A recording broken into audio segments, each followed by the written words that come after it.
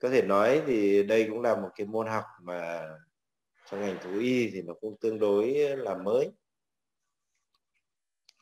À, hiện nay thì việc mà ứng dụng phương pháp chẩn đoán hình ảnh vào trong cái ờ, thú y thì cũng đã được uh, ứng dụng tương đối nhiều đặc biệt là với những cái uh, uh, đối tượng như là thú cưng đó, thú cưng thú cảnh của chúng ta thì việc ứng dụng chẩn đoán hình ảnh vào là là tương đối nhiều. Thế còn với các đối tượng khác thì đa số thì, thì người ta chỉ ứng dụng trong những cái uh, trường hợp như là với những cái con à, gia súc giống hoặc là những cái con à, động vật quý hiếm vân vân.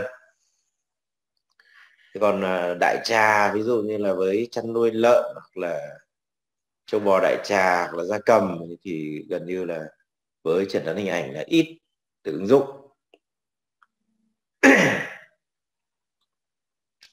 Thế đối với môn học này ấy, thì uh, đây là một cái môn học mà nó nó sẽ có uh, thầy sẽ gửi cái uh, bài giảng vào nhóm Zalo để làm tài liệu cho chúng ta. Sau này nếu mà các bạn có làm tài liệu để phục vụ cho việc thi đúng không ạ? Thì học là phải thi.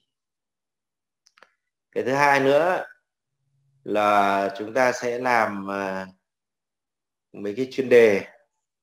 Làm cái chuyên đề thì à, thay cho cái điểm thi giữa kỳ là điểm kiểm tra hàng ngày đấy. Vì chúng ta có có các thành phần điểm là điểm chuyên cần này, điểm hàng ngày và điểm thi cuối cùng. Đấy. thì vậy thì các bạn cũng sẽ phải có cái điểm hàng ngày thì tôi sẽ cho ông ta làm cái à, thực hiện mấy cái chuyên đề thì ờ, cuối buổi hoặc là thầy sẽ ra chuyên đề trên ờ, nhóm Zalo. À, thế ra chuyên đề trên nhóm Zalo để cho chúng ta chúng ta làm. Thì lớp chúng ta có 25 à, bạn thì sẽ chia thành 5 nhóm. 5 nhóm và mỗi một nhóm sẽ làm một chuyên đề. Đây chúng ta có năm nhóm để làm chuyên đề. Chúng ta có 5 5 à, chương. Ta có năm chương thì à, chúng ta sẽ chia làm năm nhóm. Mỗi nhóm sẽ làm chuyên đề trong nội dung một chương. Thì làm chuyên đề sao các bạn gửi vào Zalo hoặc là gửi vào mail cũng được. Đấy. Chúng ta có nghe rõ không nhỉ? Có có ok.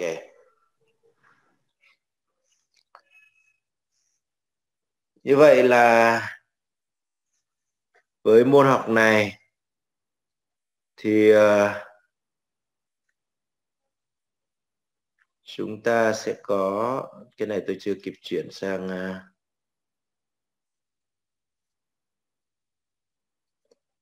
chưa kịp chuyển sang.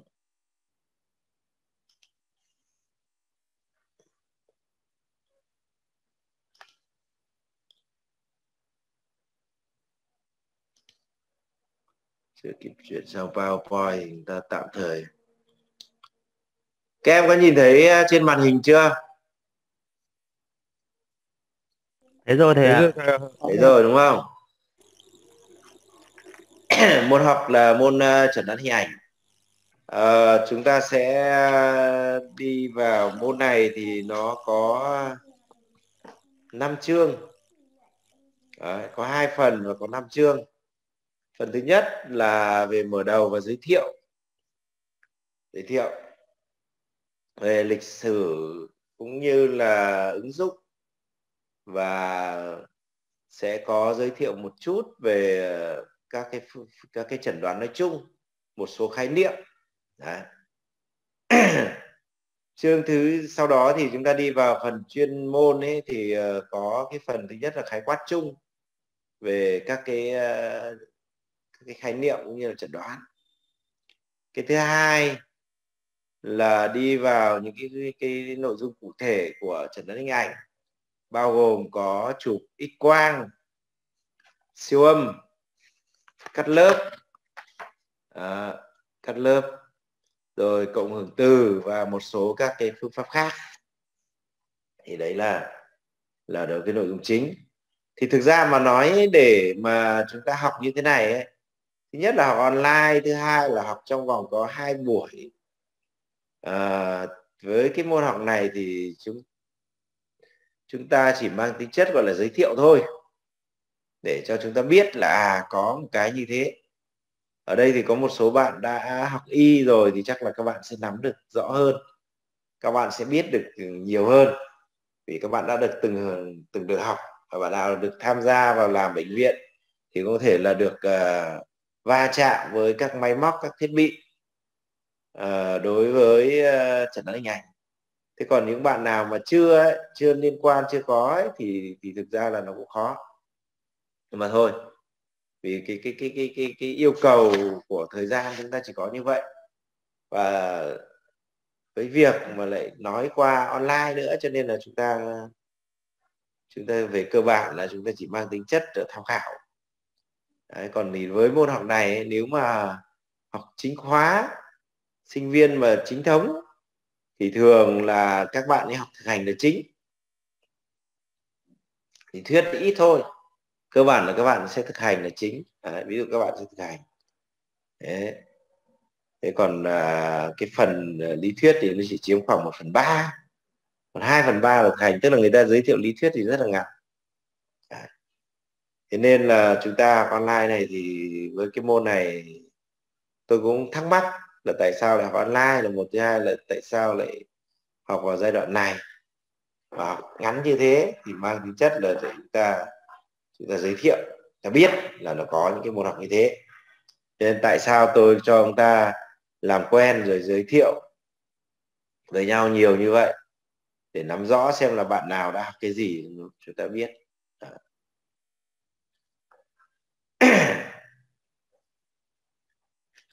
Thế thì có thể nói là với cái môn chẩn đoán hình ảnh này uh, đã được áp dụng đặc biệt là đã áp dụng cho ngành nhân y thì từ ờ, cũng khá lâu rồi có thể nói là từ ờ, thế kỷ trước nữa rồi. cách đây khoảng nếu tính ra như bây giờ cách đây khoảng hai thế kỷ Đấy. và ông tổ của ngành chẩn đoán hình ảnh thì uh, chính là cái người có thể nói là những cái người phát minh ra cái tia TX ấy, hay còn gọi tia röntgen Đấy. thì vào à, năm 1895 Đấy. là ờ, uh, tia röntgen được uh, phát hiện ra hay còn gọi TX và việc mà phát hiện ra TX này nó sẽ là bước đầu mở ra cho cái ngành chẩn đoán hình ảnh. Và hiện nay thì với những cái uh, cái cái cái cái, cái các cái phương pháp cũng như là các thiết bị thì vẫn được sử dụng uh, nền tảng là TX Đấy. ví dụ như là chụp x quang. Đấy, x quang hiện nay vẫn đang sử dụng rất nhiều đúng không ạ? Rồi uh, chụp uh, cắt lớp. Cắt lớp vi tính cũng là là là dùng TX Đấy.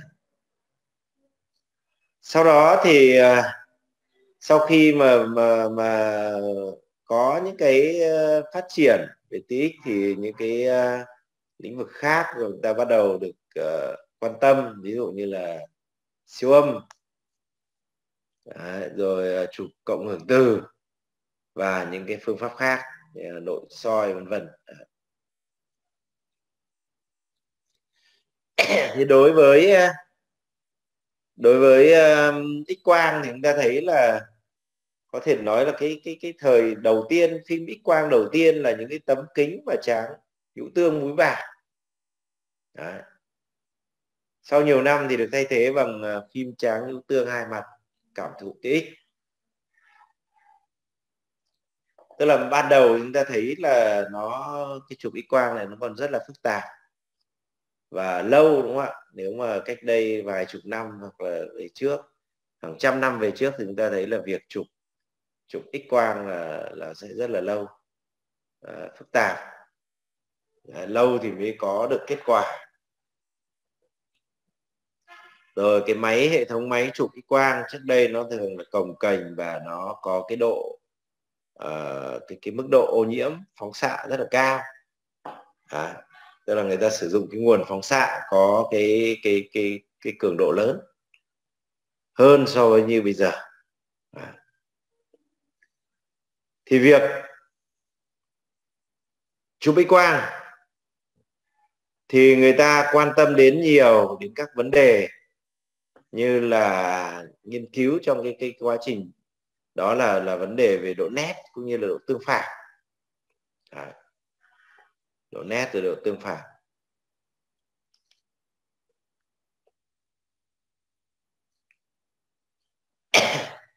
Vấn đề độ nét độ tương phản là thường xuyên được nghiên cứu và được quan tâm.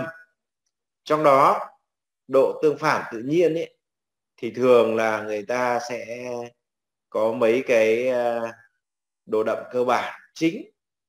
Và người ta gọi là cái thang thang xám đất, thang xám thì có bốn đất chính về độ đậm cơ bản. Trong đó có các cái thay đổi, ví dụ như là của canxi, của nước, của mỡ và của không khí thế thì riêng đối với ờ, nếu mà chúng ta nhìn tia qua à, nhìn phim x quang ờ, thấy ngay đúng không ạ? Độ đậm nhất uh, hay là thì nó là các cái cơ quan mà có cái cái hàm lượng canxi hay là mật độ canxi cao nhất ví dụ như là xương. Thì thường ở trên phim x quang là nó sẽ thể hiện ra là màu gì ạ nó thể hiện ra là màu trắng đúng không ạ? Màu trắng. Rồi thì do là xương nó có độ cản quang lớn nhất. À. sau đó thì đến mỡ. À, sau đó thì đến nước. Nước thì ờ, nó sẽ nhạt hơn. Sau đó thì đến mỡ và cuối cùng là đến không khí không khí. Cho nên nếu như mà nếu mà mà phim phổi ấy ví dụ như các bạn chụp phổi mà nhìn phim cái phim nó đen thì có nghĩa là phổi tốt hay là phổi xấu ạ? Là phổi xấu ạ. À, không phim đen thì phải phổi tốt chứ tốt chứ. Như không khí đúng không thầy? Đúng rồi. Đen là phổi tốt. Đấy thế còn nếu mà mà phim mà mà trắng hết cả lên rồi ấy thì thì là là vấn đề rồi đúng không ạ? Đấy. Thì đấy là chúng ta thấy là là đấy là về độ đậm. Thứ hai nữa là việc người ta có thể sử dụng những cái chất cản cản quang những cái chất cản quang rồi những chất tương phản thì cũng được sử dụng để chụp và đưa vào chụp x quang. Ví dụ như là cái chất như là bít mút rồi iốt thì cũng tăng đưa vào để tăng tăng cái ờ, cái cái độ uh, gọi là tương phản. Hoặc là đưa một số những cái chất như là bari barit vào đấy chẳng hạn. Ví dụ như là người ta chụp uh, dạ dày hoặc là chụp thực quản.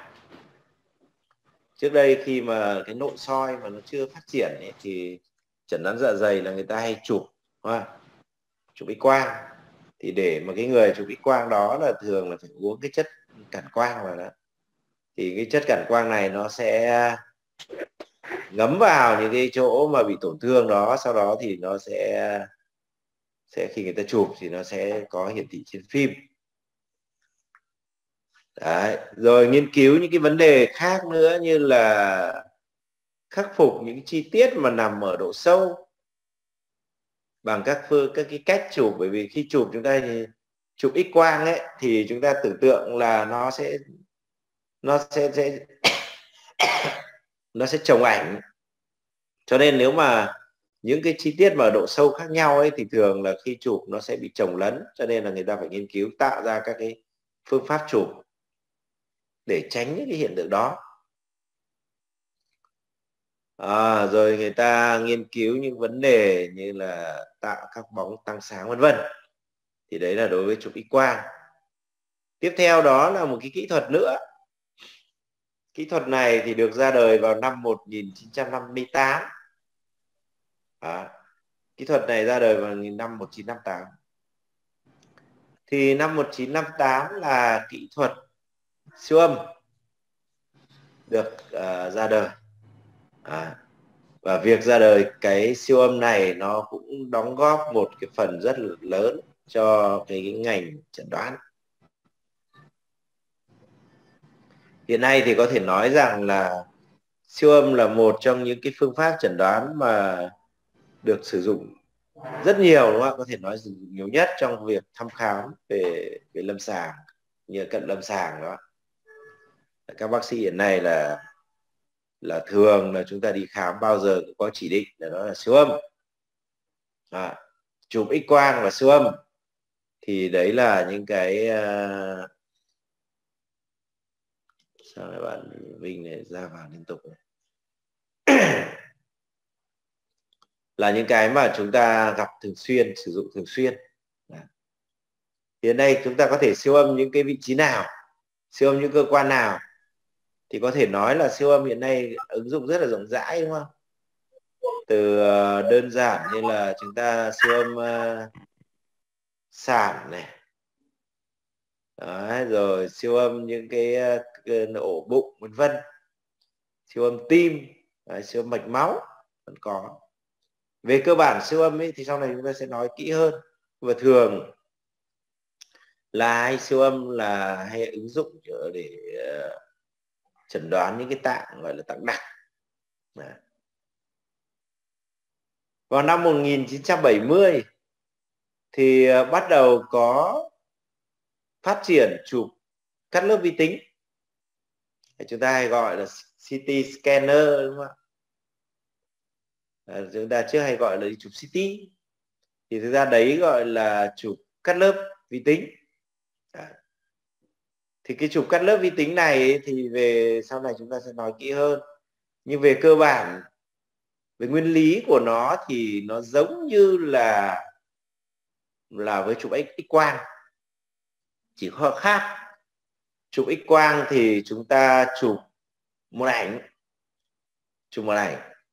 Thế còn chụp cắt lớp là chụp được nhiều ảnh đúng không ạ? Chúng ta có nhiều nhiều nhiều loại có thể loại 6 32 64 hoặc là 128 lớp ảnh đấy và đối với chụp x quang ấy thì chụp theo một cái hình chiếu. Thường là chụp thẳng, chụp hoặc check gì đó nhưng mà chụp theo một hình chiếu, tức là nó có một ảnh thôi, thì nó sẽ có hiện tượng là chồng lấn. Thế còn chụp cắt lớp thì chúng ta cứ tưởng tượng, gọi là cắt lớp mà giống như là chúng ta cắt bánh trưng hoặc là thái chuối. Đấy, nó tạo ra thành cái lớp như thế thì sau đó thì uh, người ta trên cơ sở là có hệ thống phần mềm người ta sẽ xây dựng dựng lại được hình ảnh và có thể dựng được ra cái hình ảnh 3D đúng không ạ? Để cho chúng ta thấy. Thì đấy là đối với chụp uh, ờ, cắt lớp. Thì uh, đối với uh, chụp cắt lớp này người ta cũng đã sử dụng rất nhiều. Và một cái kỹ thuật mới nữa cũng được uh, ứng dụng trong chẩn đoán hình ảnh. Đó là việc uh, tạo ra cái, uh, cái một cái phương pháp gọi là phương pháp chụp cộng hưởng từ. Đấy. chụp cộng hưởng từ. Thì việc chụp cộng hưởng từ này ấy, người ta đã đưa vào và nó có nó nó gần tương đương giống như là đối với chụp cắt lớp vi tính. Tuy nhiên thông thường là chụp cộng từ thì nó sẽ có những cái thuận lợi hơn. Đó, nó có có những ưu nhược điểm sau này chúng ta sẽ nói. Thế còn đối với uh, chụp cộng hưởng từ thì uh, thì nếu như bây giờ chúng ta nếu bạn nào mà đi chụp chúng ta thấy là thường cộng hưởng từ là đắt hơn so với chụp cắt lớp đúng không ạ?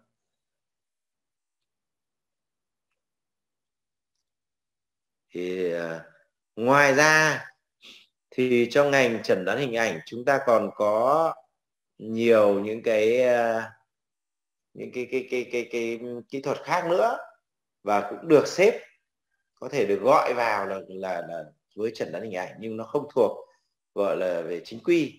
Ví dụ như là chúng ta còn có chụp hạt nhân này rồi uh, có nội soi đúng không ạ? Chụp đối pha rồi chụp mạch vân thì đây cũng thuộc vào vào những cái chẩn đoán uh, đối với hình ảnh. Thì trong cái khuôn khổ mà những cái ngành mà người ta đang đào tạo chính quy ấy, trên thế giới hiện nay thì ngành chẩn đoán hình ảnh thì bao gồm chủ yếu là cái đầu tiên ấy nó nhìn rõ nhiều nhất đó chính là x quang thường quy hay còn gọi là x quang quý ước x quang quý hơn từ những cái x quang ờ, đơn giản cho đến hiện nay gọi là x quang kỹ thuật số. À, thì sau này đến phần x quang sẽ nói kỹ hơn. Cái thứ hai gọi là phương pháp siêu âm. Siêu âm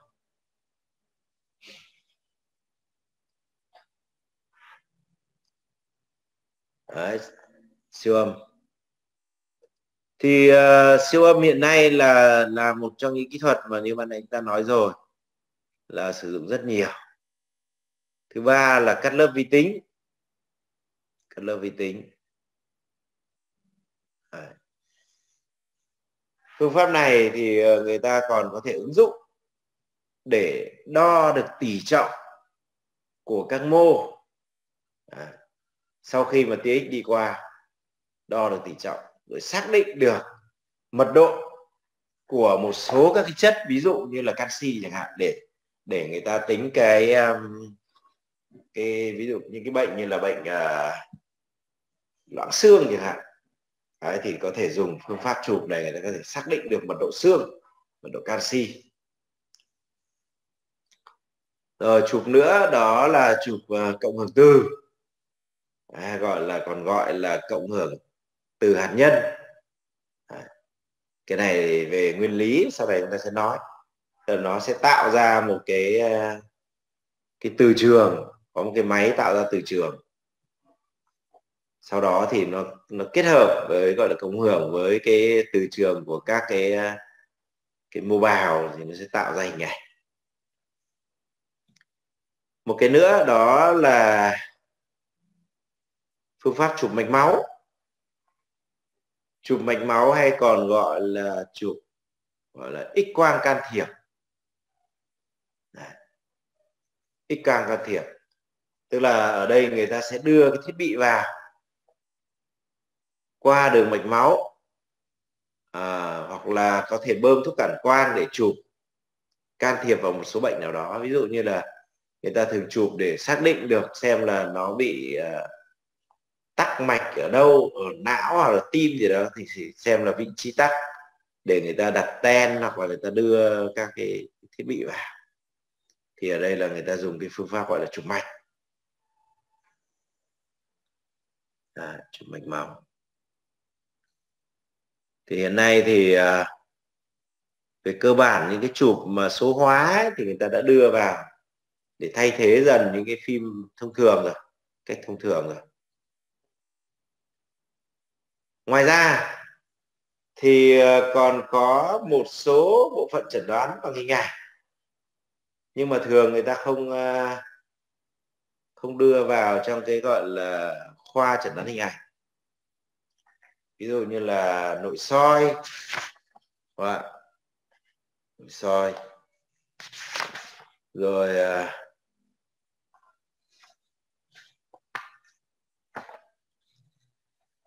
chủ nhấp nháy đồng vị phóng xạ. Đấy. Chụp nội soi nội soi nhấp nháy đồng vị phóng xạ vâng cái đấy cũng là là là chẩn đoán hình ảnh nhưng mà nó lại không thuộc vào khoa chẩn đoán hình ảnh đưa vào. Thì đấy là đối với ờ, các phương pháp chẩn đoán hình ảnh thì đến nay chúng ta thấy nó gồm có một số những cái phương pháp như vậy à, một số cái loại phương pháp như vậy. Thế còn đối với chẩn đoán hình ảnh đối với động vật chẩn đoán hình ảnh đối với động vật thì là như thế nào? Thì có thể nói là um, đối với ngành chẩn đoán hình ảnh ấy nó có một vai trò rất quan trọng trong việc chẩn đoán bệnh đối với con người. À, đối với người thì hiện nay thì thì có thể nói là chẩn đoán hình ảnh là một trong những cái phương pháp mà không thể thiếu được để tìm ra nguyên nhân bệnh chẩn đoán bệnh.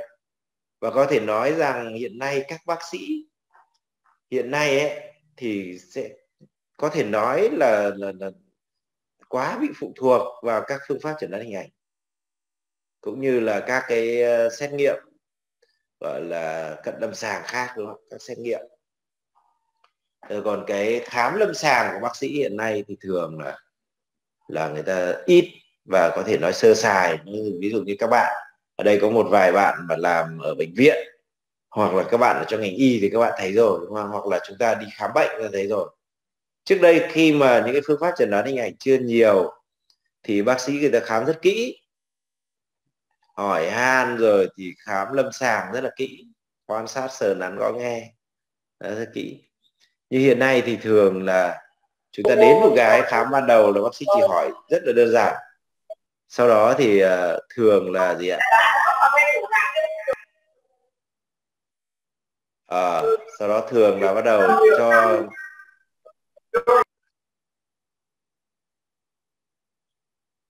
thường là bắt đầu cho ra một cái uh,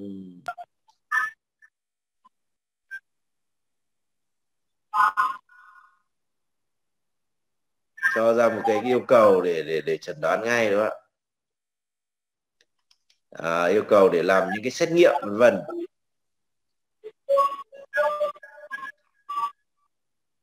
Tôi đang nhìn thấy ở đâu này đưa cái các bạn à, tắt mic của các bạn đi nhá.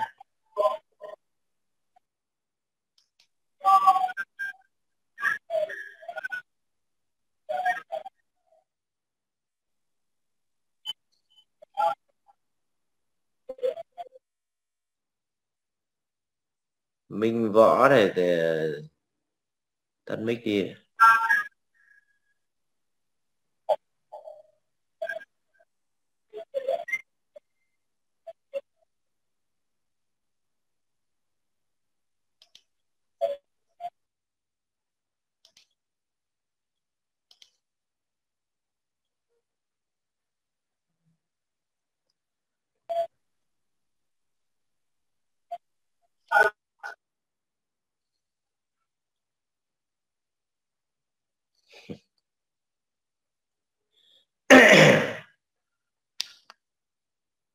À, chúng ta sẽ tiếp tục.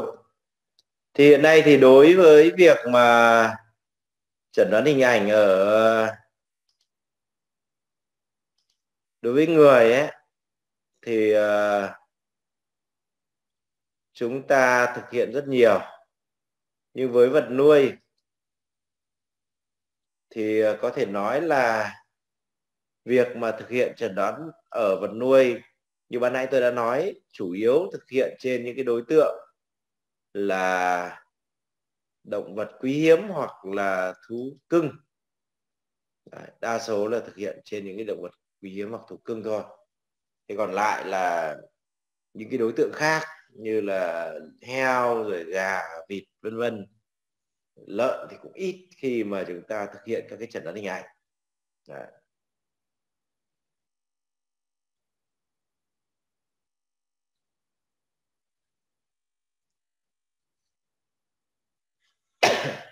Ở Việt Nam thì ờ, chẩn đoán hình ảnh ở trong thú y thì vẫn còn tương đối là hạn chế đúng không ạ chủ yếu là thực hiện những cái động vật uh, thú cưng à. các phương pháp mà thực hiện đối với chẩn đoán hình ảnh uh, cho vật nuôi ở Việt Nam ấy, thì chủ yếu là thực hiện là x quang này rồi siêu âm này nội soi này đúng không ạ ở đây có một vài bạn à, làm ở các cái phòng khám thú cưng thì chắc chúng ta biết đúng không ạ?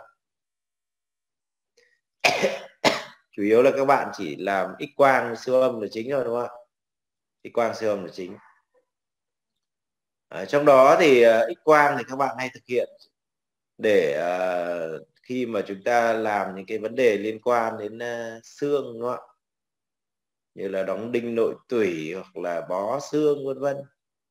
Đấy. thế còn à, siêu âm thì à, chúng ta sẽ thực hiện tương đối nhiều nhưng mà làm nhiều nhất vẫn là siêu âm thai đúng không ạ siêu âm thai à. thì đấy là đối với à,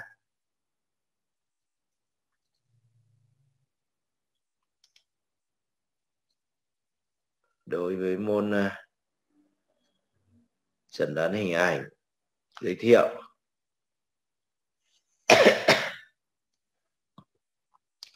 bây giờ tôi sẽ giới thiệu một chút về một số những cái khái niệm.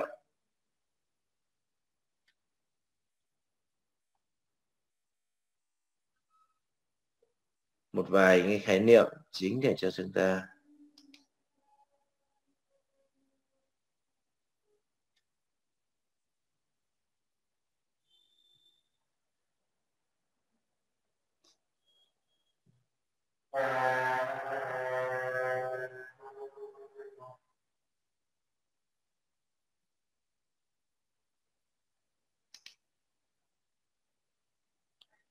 Tại sao lại không ờ?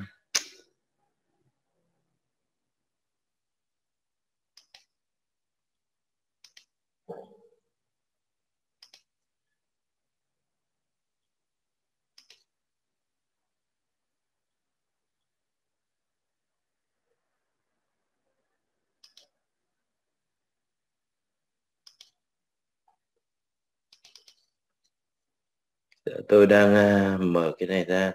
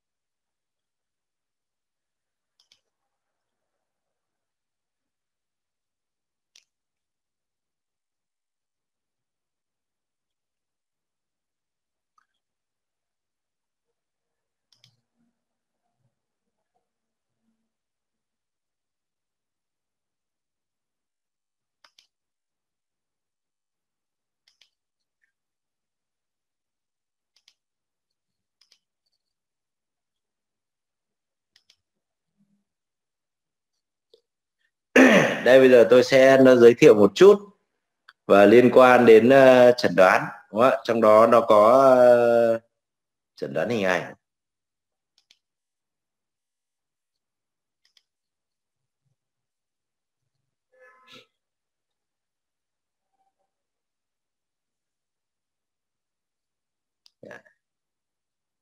thì ở đây chúng ta sẽ hiểu chẩn đoán là cái gì đã đúng không ạ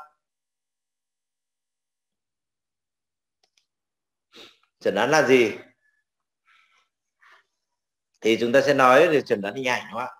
Thì ở đây chẩn đoán đấy đó chính là cái môn học mà nói về khám bệnh. Nói về khám bệnh, đúng không ạ? Đấy. nói về các phương pháp phát hiện cũng như là thu thập triệu chứng bệnh ở động vật. Rồi cách phân tích đánh giá về các triệu chứng của bệnh. Từ đó thì đi đến kết luận chẩn đoán là gia súc mắc bệnh gì. Hay nói cách khác ấy, chẩn đoán là cái việc, những cái công việc mình làm để mình trả lời cho cái câu hỏi là cái con vật đó nó mắc bệnh gì. Thì đấy là là khái niệm chung về chẩn đoán, đúng không? Thế còn chẩn đoán hình ảnh là người ta sử dụng các cái phương pháp chuyên biệt hơn để trả lời cho cái câu hỏi là con vật đó nó mắc cái bệnh gì thôi. Thì đấy là khái niệm chẩn đoán, đúng không thì đây các phương pháp khám bệnh cơ bản. À, giới thiệu một chút về chẩn đoán trước chúng ta nắm được. Thì các cái phương pháp mà khám bệnh cơ bản thì là cái gì? À, thì ở đây ấy, chúng ta có các phương pháp. Thứ nhất là phương pháp khám cơ bản hay còn gọi là khám thông thường. Khám chung hay còn gọi là, là khám lâm sàng. Khám lâm sàng và thứ hai là các cái phương pháp khám chuyên biệt hay còn gọi là khám đặc biệt Đấy.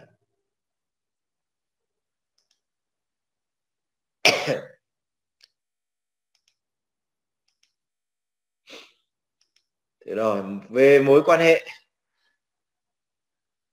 của cái môn chẩn đoán với những cái môn à, học khác hay cũng như là môn à, chẩn đoán hình ảnh với các môn học khác thì để mà mà mà mà nắm có được học được cái môn chẩn đoán này rồi ấy thì chúng ta phải uh, được học những cái môn cơ sở.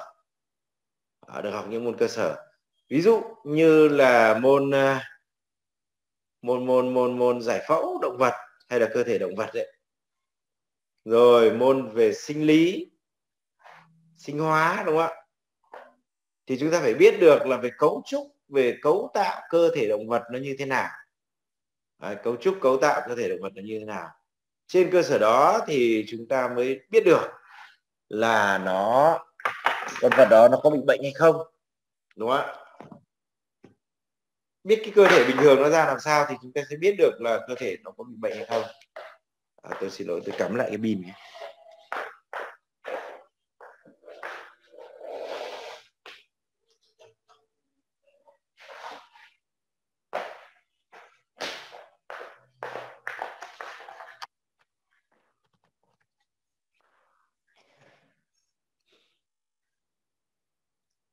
Hôm trước thầy Kiên uh, cho chúng ta học đến mấy giờ? Buổi sáng.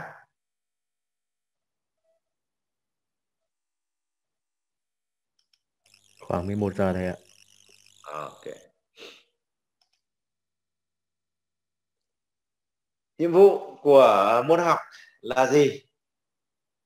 Thì uh, nhiệm vụ của môn học đây chúng ta thấy nhiệm vụ của nó như ban nãy ta nói chính là trả lời câu hỏi là con vật này nó mắc bệnh gì? Mắc bệnh gì? Nặng hay là nhẹ? Và có chữa được hay không? Và có nên chữa hay là không nên chữa? Đúng không ạ? Tức là nếu mà chúng ta khi mà chúng ta chẩn đoán một con vật mắc bệnh thì bao giờ chúng ta cũng có trả lời mấy cái câu hỏi. Thứ nhất là à, nó mắc cái bệnh gì? À, đúng không ạ? Nặng hay là nhẹ? Tức là cái mức độ mắc bệnh của nó à, là là nặng hay nhẹ. Rồi có nên chữa có chữa được hay không và có nên chữa hay không? Nên chữa hay không? Tại sao lại đặt vấn đề ở đây là có nên chữa hay không? Bởi vì chúng ta thấy là với việc mà chẩn đoán bệnh cho thú y thì nó khác với chẩn đoán bệnh cho nhân y đúng không ạ? Thì các bạn học uh, bên uh, bên nhân y các chúng ta biết rồi. Thường là đối với nhân y là nguyên tắc là gì ạ? Nguyên tắc là gì? Nguyên tắc là còn nước còn tát và chữa bệnh đến cùng, đúng không ạ? Đấy. nhân y là nguyên tắc còn nước còn tát và chữa bệnh đến cùng. Thế còn trong thú y trong thú y thì là gì? Về cái cách chẩn đoán hoặc là phương pháp điều trị thì về cơ bản nó giống như là nhân y. Nhưng mà riêng đối với thú y thì nó có một cái nguyên tắc khác trong quá trình điều trị. Đó là nguyên tắc gọi là nguyên tắc về kinh tế. Nguyên tắc kinh tế đúng không ạ? Tức là ở đây ấy, thì trong quá trình điều trị hay chẩn đoán thì chúng ta cũng phải uh, lưu ý là là nó phải liên quan đến về giá trị kinh tế. Đấy. bởi vì đối với con vật nuôi nó khác so với con người con người thì là tính mạng là cao quan trọng nhất sinh mạng là quan trọng nhất vô giá. Thế còn đối với vật nuôi là nó có giá đúng không ạ? Kể cả đắt đến đâu có người nói là con, con thú cưng thú cảnh này của tôi rất là đắt đến ra hàng tỷ thì nó vẫn là có giá, đúng không ạ? Chứ không phải là vô giá. Thế còn con người là không có giá. Đấy. cho nên đối với việc chẩn đoán cũng như là điều trị đối với vật nuôi là nó phải thực hiện, là nó có nguyên tắc kinh tế.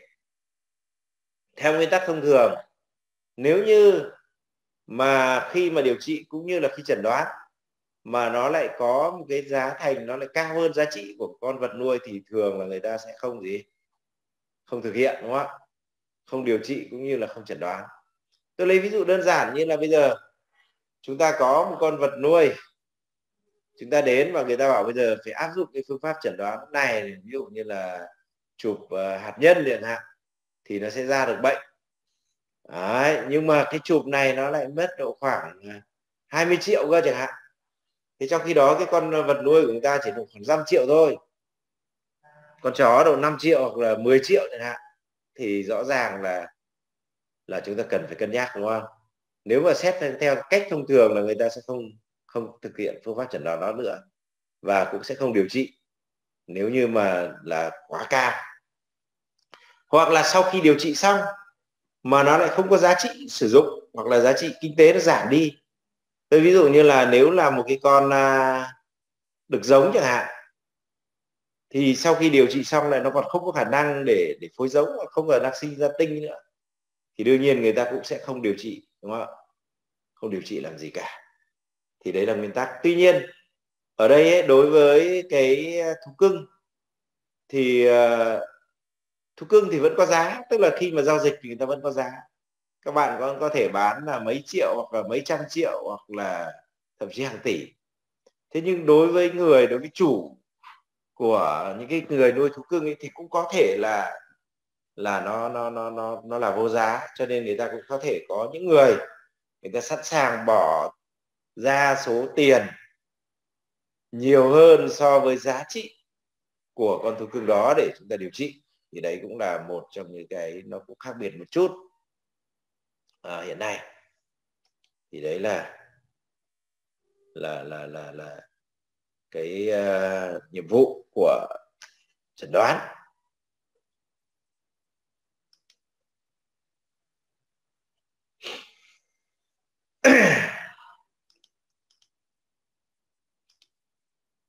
Một số khái niệm uh, trong chẩn đoán để chúng ta cần nắm được. Thứ nhất là khái niệm về triệu chứng chẩn đoán và tiên lượng. Thế này chúng tôi đang bị lỗi phông một chút. Thứ nhất là triệu chứng. Thế thì triệu chứng là gì? Triệu chứng là gì? Bây giờ tôi sẽ mời một bạn nào đấy để nói cho tôi xem nó là triệu chứng là cái gì nha. Nào mời bạn à, bạn nhân à. nhân đang làm phòng khám thú y đây.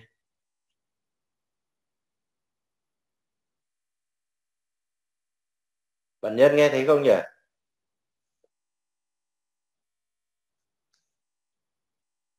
Bạn nhân có nghe nghe thầy nói gì không nhỉ?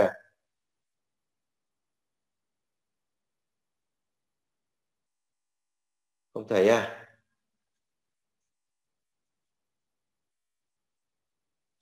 Nào, thế tôi mời bạn liên vậy. Liên làm bệnh viện thì chắc là biết triệu chứng đó là sẽ là cái gì, đúng không? Dạ thưa thầy ờ, cái triệu chứng là ờ, một cái dấu hiệu mà bất thường của cái người bệnh.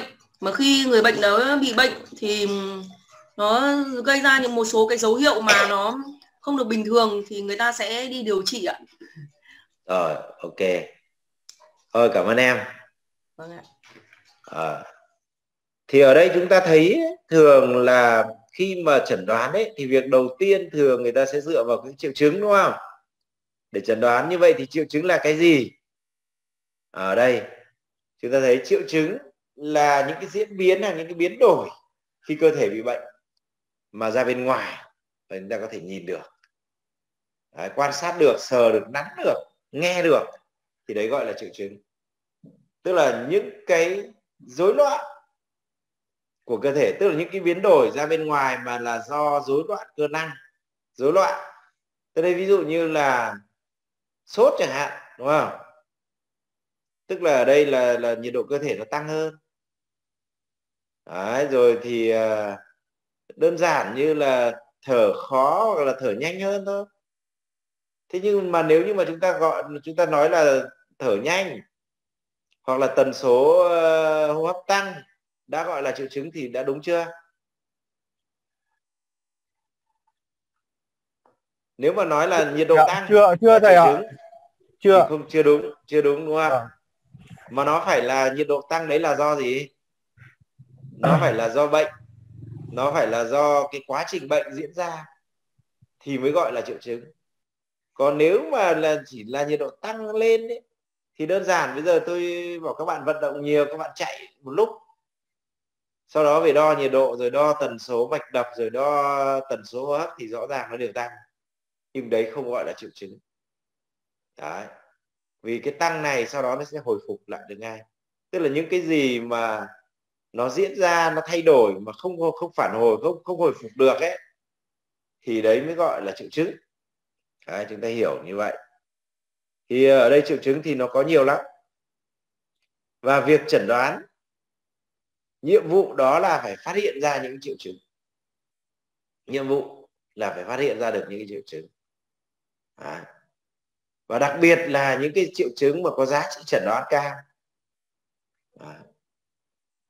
ở đây chúng ta thấy mỗi một giai đoạn bệnh thì nó sẽ có một cái ờ, cái triệu chứng khác nhau à, những cái biến đổi của bệnh khác nhau cho nên nó cũng sẽ tạo ra những ý nghĩa khác nhau à, nó không giống nhau đúng không cho nên việc mà chúng ta phát hiện ra triệu chứng là cái điều mà rất quan trọng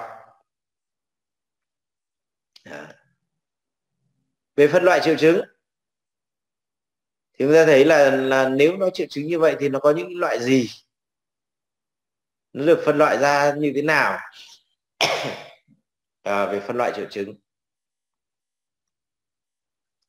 Thì chúng ta có những loại nào? Thứ nhất nếu như căn cứ vào phạm vi biểu hiện thì người ta sẽ chia nó ra thành hai loại hai loại đó là gì ạ? Đó là cục bộ hoặc là toàn thân. Đấy. thứ nhất là triệu chứng cục bộ đúng không ạ? Thì đây là triệu chứng mà biểu hiện ở một cái cơ quan nào đó của cơ thể thôi. Đấy, ví dụ nó diễn ra một cơ quan nào đó thì người ta gọi là triệu chứng cục bộ. Ví dụ như là bị sưng phù ở chân chẳng hạn hoặc là bị viêm khớp chẳng hạn. Hoặc là bị đau mắt chẳng hạn, vân vân, thì thì đấy là nó biểu hiện ở cục bộ một cơ quan nào đó. Cái thứ hai là triệu chứng toàn thân. Thì toàn thân ở đây chính là triệu chứng mà thể hiện trên toàn bộ cơ thể. Nó là triệu chứng thể hiện trên toàn bộ cơ thể. Tức là cái triệu chứng này nó sẽ biểu hiện trên toàn bộ cơ thể đây thế thì với triệu chứng mà thể hiện trên toàn bộ cơ thể này thì ví dụ như là gì ạ? Như là sốt đúng không? Sốt rồi ủ rũ bỏ ăn vân vân. Thì đấy người ta là là thể hiện triệu chứng toàn thân. Tuy nhiên ở đây chúng ta thấy là việc mà phân biệt rạch ròi danh giới giữa triệu chứng cục bộ với triệu chứng toàn thân nó là không rõ ràng. À, đôi khi triệu chứng cục bộ nó sẽ thể hiện lên toàn thân hoặc là ngược lại triệu chứng toàn thân thì nó sẽ biểu hiện ở cục bộ. Ví dụ triệu chứng cục bộ ở tim chẳng hạn thì nó sẽ gây ra uh, bị ảnh hưởng đến toàn bộ cơ thể. Đấy, hoặc là triệu chứng toàn thân thì nó cũng sẽ biểu hiện ở toàn bộ cơ thể vân vân. Còn căn cứ vào giá trị chẩn đoán thì người ta sẽ chia triệu chứng ra làm năm loại. Năm loại khác nhau. Đấy. trong đó, thứ nhất là triệu chứng đặc thù. Đặc thù. Thì đây là cái triệu chứng có thể nói rất là quan trọng. Quan trọng. Và người ta sẽ căn cứ vào triệu chứng đặc thù để xác định được bệnh. Đấy đây là triệu chứng mà nó chỉ có ở một bệnh. Và khi con vật có triệu chứng ấy, thì ờ, sẽ chẩn đoán ra được nó mắc bệnh gì. Từ đây chúng ta xác định được rất rõ ràng là là nếu mà con vật mắc bệnh này có, thì nó sẽ có triệu chứng này và ngược lại. Thì ở đây chúng ta thấy trên thực tế thì các bạn thấy có cái triệu chứng gì là đặc thù ạ? Nào mời bạn là bạn bạn bạn à, bạn gì đang là thú y xã nhỉ? Bạn trưởng trưởng đâu? Trưởng uh, lan đột biến nào.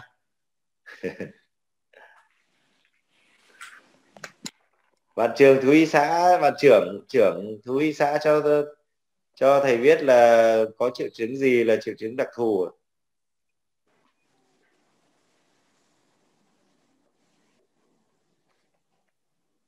trưởng có còn không nhỉ? Hay là ao hết rồi? Alo ạ.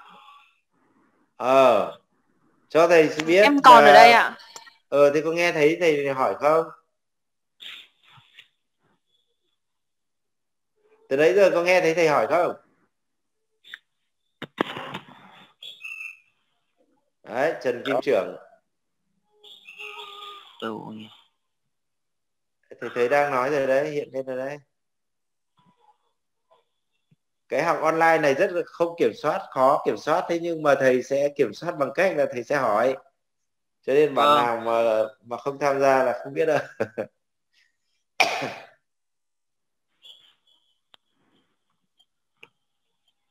trưởng đâu rồi. Dạ, dạ. hả? Em nghe thầy ơi. Ờ thế trả lời câu hỏi của thầy đi. Vâng thầy hỏi lại đi thầy ạ. À hỏi lại à? Vâng ạ. Thế thì em làm thú y rồi bây giờ em chia sẻ với các bạn là cái bệnh nào mà nó có triệu chứng đặc thù và tức là đã nhìn thấy cái triệu chứng đấy thì sẽ sẽ sẽ, sẽ biết chắc chắn là nó mắc bệnh như vậy hoặc là ngược lại là nó đã mắc bệnh như vậy thì nó sẽ có cái triệu chứng đó vâng. Ờ, báo cáo thầy ví dụ như là bệnh tù huyết uh, tù huyết trùng ở lợn thì ạ. Tù huyết trùng à? Vâng. Thế thì nó là cái gì? Triệu chứng đặc thù của tù huyết trùng là, gì? Xuất huyết ra ngoài uh, da thầy ạ. Xuất huyết ngoài da thì các bệnh khác nó cũng xuất huyết ngoài da mà. Bệnh đóng dấu thầy ơi. À bệnh đóng dấu đúng không đấy đóng dấu cái cái cái đám xuất huyết ngoài da của đóng dấu là đặc thù đúng không? Vâng ạ. Đấy. Thưa thầy bệnh lở mồm long móng là có đặc thù nhất có tính đặc thù nhất thầy ạ. Lở móng à, lở lở mồm long móng đúng không? Có tính vâng. đặc thù nhất. À tuy nhiên lở mồm long móng thì cũng có những cái bệnh mà nó bị uh, bị viêm uh, nó có một số bệnh viêm nó cũng bị bị dạng như vậy. Tất nhiên là nó về cơ bản là nó cũng tương đối nhưng mà đặc thù nhất phải nói đó là bệnh đóng dấu lợn. Tuy nhiên có phải là bệnh nào cũng có triệu chứng đặc thù không? Không đúng không ạ? Không không phải bệnh nào cũng có triệu chứng đặc thù. Còn nếu vâng, mà bệnh nào cũng em thưa thầy mỗi một con vật nó có một à, mỗi một bệnh nó có một cái đặc thù rất nhau nhưng nó có những cái đặc điểm giống và khác nhau. Có nghĩa là tính đặc thù của nó thì người ta sẽ so sánh với các bệnh khác vì nó có tính đặc thù. Có những rất nhiều những bệnh nó có tính đặc thù mà mà nhưng nó chỉ nó chỉ, có những bệnh khác nó chỉ là hơi giống thôi. Thì mình đấy là do kinh nghiệm của người người người khám đúng rồi Ví cái dụ... đấy là sau này chúng ta sẽ nói đấy nó là những cái triệu chứng uh, dùng để uh, chẩn đoán phân biệt. Thế vâng. còn cái triệu chứng đặc thù ở đây ấy, là đặc thù riêng của bệnh đó. Tức là người ta chỉ nhìn thấy một cái triệu chứng đó là người ta sẽ biết ngay là bệnh cái bệnh đó hoặc là ngược lại. Đấy, thế tuy nhiên không phải là bệnh nào nó cũng có triệu chứng đặc thù. Còn nếu như là bệnh nào mà cũng có triệu chứng đặc thù rồi thì người ta chẩn đoán rất dễ. Vâng. người ta chỉ cần học mỗi cái triệu chứng đặc thù thôi đúng không thì ờ, thú y của chúng ta lại dễ quá. Không phải bệnh nào cũng có. Cái triệu chứng vâng. nữa đó là triệu chứng chủ yếu. Thì đây là những cái triệu chứng mà uh, thể hiện tương đối rõ trên những con vật mắc bệnh. Uh, trong quá trình mắc bệnh thì cái triệu chứng này nó thể hiện rất là rõ. Uh, thì cái triệu chứng chủ yếu này nhiều khi các bệnh là nó nó là giống nhau. À, giống nhau đây ví dụ bệnh này là bệnh lợn đóng dấu đây, thì đây là triệu chứng đặc thù còn đây một số những cái bệnh có những cái triệu chứng chủ yếu đúng không ạ những cái bệnh cũng gọi là đặc thù nhưng mà không rõ ràng lắm đây là những cái bệnh chủ yếu này à. Đấy.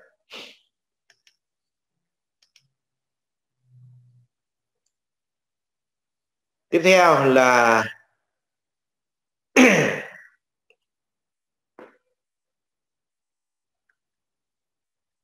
những cái triệu chứng chính, đúng không ạ?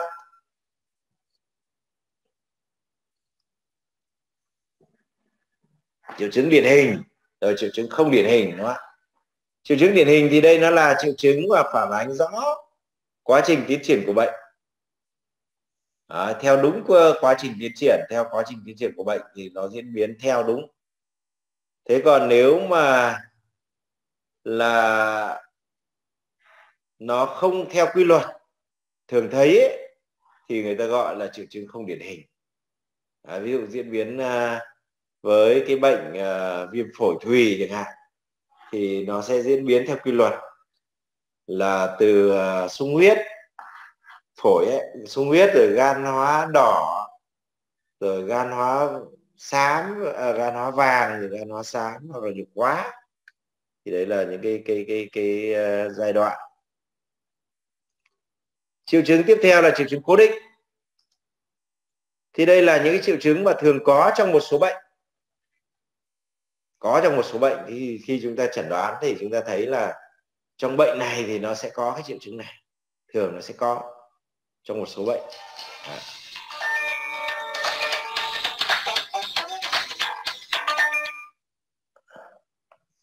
tôi tôi xin lỗi tí ạ. Ờ anh đang lên lớp. Đang lên lớp đang lên lớp. Ờ chờ tí chờ tí.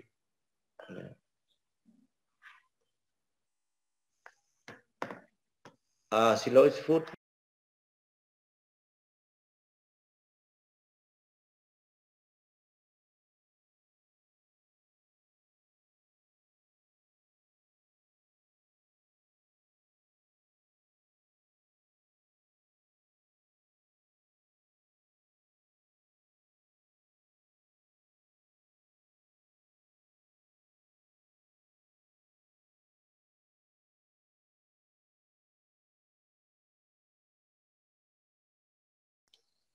À, chúng ta tiếp tục. Thì đấy là cái triệu chứng cố định thì đây là những triệu chứng mà nó sẽ có trong một số bệnh. Đó, thường có trong một số chỗ bệnh.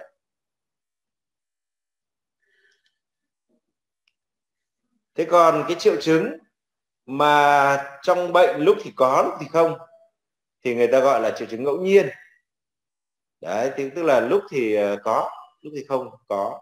Thì nó không phải là triệu chứng cố định của một cái bệnh nào đó tất nhiên những cái triệu chứng cố định này ấy, thì có thể những cái bệnh là nó giống nhau. Có nhiều bệnh giống nhau. Ví dụ như là những cái bệnh truyền nhiễm nói chung ấy thì các triệu chứng cố định đó là gì? Đó là ủ rũ bỏ ăn này sốt này. Sau đó thì táo bón sau đầu tiên thì táo bón sau đó là tiêu chảy. Thì đấy là là những cái triệu chứng mà người ta gọi là cố định là có. Thế còn có những cái triệu chứng lúc thì có lúc thì không nó không rõ ràng. Thì đấy gọi là chứng ngẫu nhiên.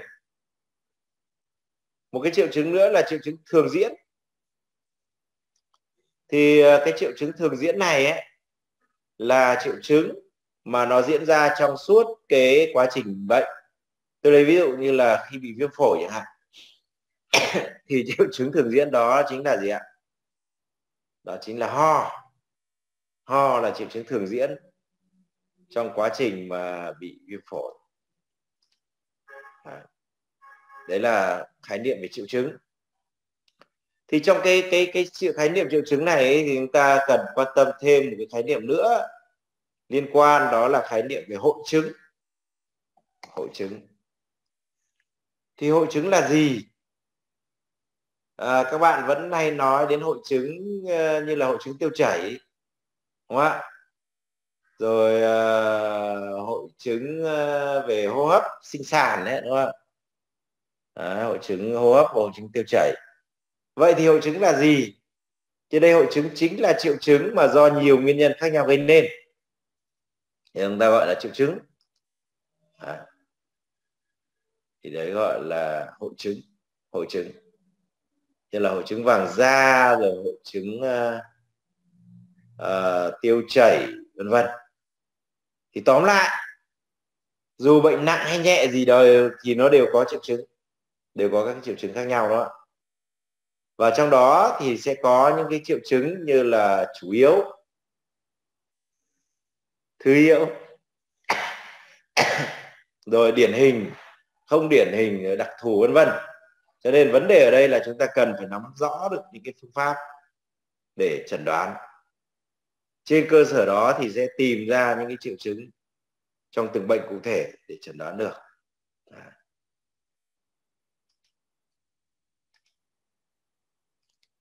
Thì đấy là khái niệm về à, triệu chứng. Còn khái niệm tiếp theo đó là khái niệm về chẩn đoán. Thì ban nãy chúng ta nói ngay từ đầu rồi, chẩn đoán có nghĩa là thông qua các triệu chứng, rồi thông qua các kết quả à, xét nghiệm vân vân để chúng ta xác định được là con vật nó mắc cái bệnh gì. Đấy. và một chẩn đoán đầy đủ thì cần phải làm rõ những nội dung gì. Bây giờ nếu mà chúng ta muốn chẩn đoán một cách rất cụ thể thì đầu tiên phải xác định được vị trí có bệnh trong cơ thể đã. Đúng không ít ra là chúng ta biết là à, bệnh ở phổi hay là bệnh ở ruột, hay là bệnh ở đâu đó, đúng không ạ? Đây là chúng ta cần phải xác định rõ về vị trí có bệnh trong cơ thể. Đấy. xem là nó nằm ở đâu. Nó nằm ở chỗ nào, cơ quan nào. Và sâu hơn nữa, ví dụ phổi thì ở phế quản hay là hay là tổ chức phổi hay là khí quản, đúng không dạ dày thì nằm ở đâu? Ở thượng vị hạ vị hay là gì đó ruột thì ở đâu đúng không? Đấy, tức là chúng ta phải xác định những vị trí có bệnh của cơ thể thứ hai là tính chất của bệnh xem là nó mức độ gì nó là mãn tính hay là cấp tính đúng không? nặng nhẹ ra làm sao rồi hình thức mức độ rối loạn của cơ thể nó diễn ra như thế nào Đó. và cuối cùng là xác định được uh, nguyên nhân bệnh Đấy thì phân loại chẩn đoán thì người ta sẽ, nếu mà về phương pháp ấy, thì có ba loại. Là chẩn đoán trực tiếp. Thứ nhất là chẩn đoán trực tiếp. Tức là dựa vào những triệu chứng chủ yếu để đi đến kết luận chẩn đoán. Hình thức này thì ờ, chỉ có kết quả khi mà có những cái triệu chứng chủ yếu hoặc điển hình. Đấy là thứ nhất. Thứ hai là chẩn đoán phân biệt thì đây ban nãy các bạn vừa nhắc đến đấy. Tức là có nhiều bệnh thì nó có triệu chứng giống nhau. Đấy cho nên là chúng ta cần phải phân biệt được. À, cần phải phân biệt được đó là là bệnh gì dựa trên cơ sở những cái triệu chứng khác biệt của những cái bệnh đó. À, khác biệt của những cái bệnh đó với nhau. Ví dụ đơn giản chúng ta có bốn cái bệnh đỏ của lợn chẳng hạn thì chúng ta cũng phải có những cái cái cái cái sự khác biệt để chúng ta chẩn đoán được cái sự khác nhau giữa cái, đàm xuất huyết đúng không ạ à, chúng ta cần nắm được những cái bệnh gì à.